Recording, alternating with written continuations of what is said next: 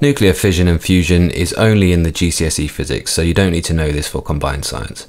Fission is the splitting of large nuclei to small nuclei, and fusion is the joining of small nuclei into larger ones. Now, fission is currently used on Earth in nuclear reactors. Fission uses isotopes and it also creates waste products that have very long half-lives, so there's serious risks attached to doing nuclear fission on Earth. Fusion is currently only used on Earth for weapons. However, it is the main reaction by which stars release their energy, and it has been used for spacecraft propulsion.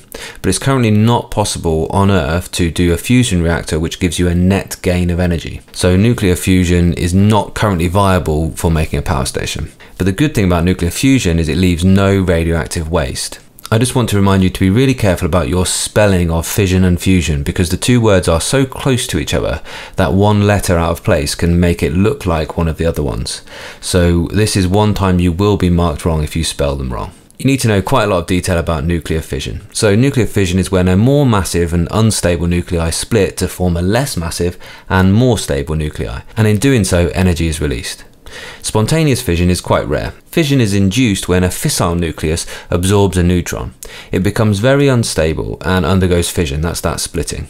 It releases two or three neutrons when it does fission, and it also releases a lot of gamma radiation the neutrons go on to cause more fissions. And this is what we mean by a chain reaction. Each fission causes more fissions, and that happens exponentially. So because it releases two or three, each fission goes on to start two or three other fissions. So very quickly, you have this multiplication of one fission causing two, causing four, causing eight, causing 16 and so on and very quickly you get a lot of fission happening. We can control that chain reaction by actually capturing those neutrons. So we use what's called control rods in a power station to actually absorb the neutrons and stop them going on to cause more fissions. In a nuclear weapon, we don't control the chain reaction. We just allow the chain reaction to occur at very high rates, and that gives out a lot of energy very quickly, and that's an explosion. If you think about what's happening in terms of energy stores to link this right back to Unit 1, then what's happening is a nuclear store of the reactants is actually decreasing and the kinetic store of the products is increasing. So the products gain a lot of kinetic energy, and that is what causes all the damage in, let's say, a nuclear bomb, or that's what heats the water in a reactor. I just want to say something about this diagram here. Be really, really careful to memorize this type of diagram accurately because you are expected to be able to either draw or interpret or complete a diagram that looks like this. This is the fissile nucleus. It's absorbing one neutron, it's splitting into these daughter nuclei, and then it's releasing two or sometimes three neutrons. Each of those neutrons goes on to be absorbed by another fissile nucleus, which does fission and releases two or three neutrons, and so on. It's important to memorize the diagrams in GCSE physics accurately. Nuclear fusion is where two less massive nuclei fuse to create a more massive nuclei. So in this diagram we have tritium and deuterium, which is two isotopes of hydrogen combining to make helium, and it releases a high-speed neutron.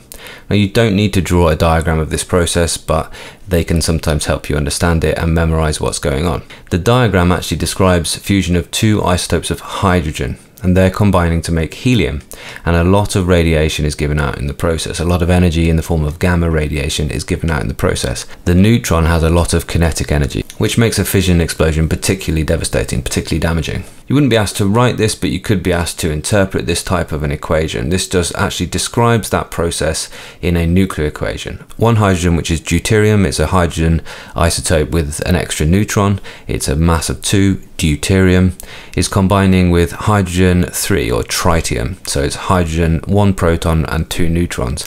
And that makes helium, which is a particularly stable isotope and gives out one neutron. There's one bit of information that's particularly important to understand about fusion, which is particularly important later when you come to understand nuclear fusion in stars. It takes a lot of kinetic energy to bring together the two isotopes of hydrogen because they have a lot of electrostatic repulsion from each other because they're both positive nuclei. So you have to get really high temperature and pressure to allow nuclear fusion to occur. Once nuclear fusion has started, then it makes its own energy to actually force the other hydrogens together to undergo fusion. To just get it started, you need to get that gas, get that hydrogen up to a very high temperature and pressure to force the hydrogens to be close enough to do nuclear fusion. And that's why it's currently not really possible to get a net gain of energy from nuclear fusion on Earth because we need to put so much energy in to get it up to the temperature and pressure. And we need to be able to contain that plasma, which is a gas at a very high temperature and pressure. And that takes a lot of energy as well because we have to use electric and magnetic fields to actually contain that plasma because it will just melt whatever we put it in. It will melt any metal container that we put it in. So we haven't solved the problem with nuclear fusion yet, but it probably will go on to solve a lot of Earth's energy problems. You need to know that some mass is converted into energy in the process. In all nuclear reactions, there's some mass which is lost to energy. Some mass becomes energy, and that's what's meant by Einstein's famous equation E equals mc squared. You don't need to use it, but it's a nice thing to know where it comes from. It's the equation by which we can calculate the size of a nuclear store of energy. It's when mass is actually turned into energy. Mass is not always conserved in nuclear reactions, although it is in chemical reactions. It's not in nuclear reactions because it is turned into energy, and that's why nuclear reactions have such high energies.